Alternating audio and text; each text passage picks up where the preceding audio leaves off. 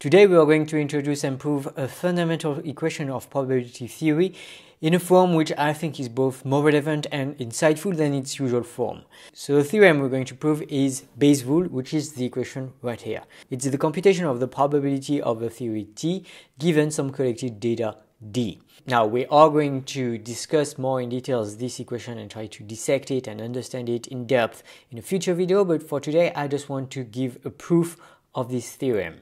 To do so, we're going to first need to, to, define what a conditional probability is. And before getting there, let's have a Venn diagram with two events A and B. So here the blue part is event A, the red part is event B, and the part at the intersection in orange is the event A and B. Now, when we condition on A being true, it means that we restrict ourselves only to the set A the probability of B given A is then the proportion of this set that still corresponds to B relatively to the whole size of A. So here it'd be the orange part divided by the blue part. Thus, the probability of B given A is equal to the probability of A and B divided by the probability of A. And note that this definition of conditional probabilities is not specific to the letters A and B. In particular, it remains true if we switch the letters A and B.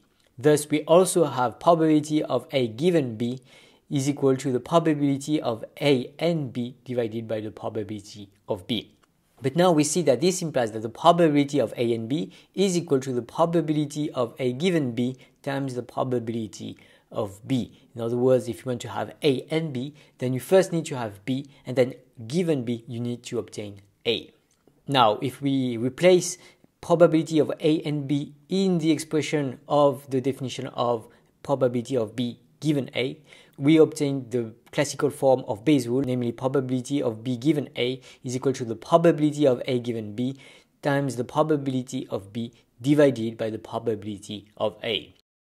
But that's not what we had. For one thing, we need to replace A and B by the letters D and T. Well, that's easy. It yields probability of T given D is equal to the probability of D given T times the probability of T divided by the probability of D.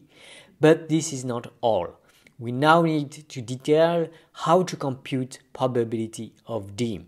Yes, because intuitively there's no absolute probability of data D, or at least it is more naturally obtained as the combination of the predictions of different theories D.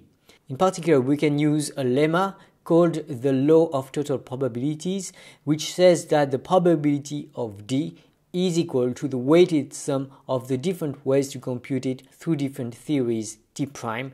That is, the probability of d is equal to the sum over t prime of the probabilities of d given t prime times the probability of t prime.